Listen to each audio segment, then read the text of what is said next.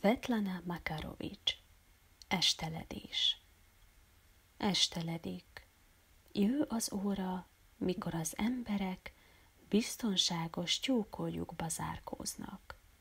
Majd kenyeret majszolnak, és tulajdon jelentéktelen vágyaikat, meg saját magukon rágódnak. Tenyerét tárja ilyenkor a lomb, karolná a megfáradt homályt a kebelére. Piszkos vénkandur töpreng a szemétdombon. Nagy szemeiben vibrál a holdvilág. Szinte magános az este. Nem is szomorú, különösebben.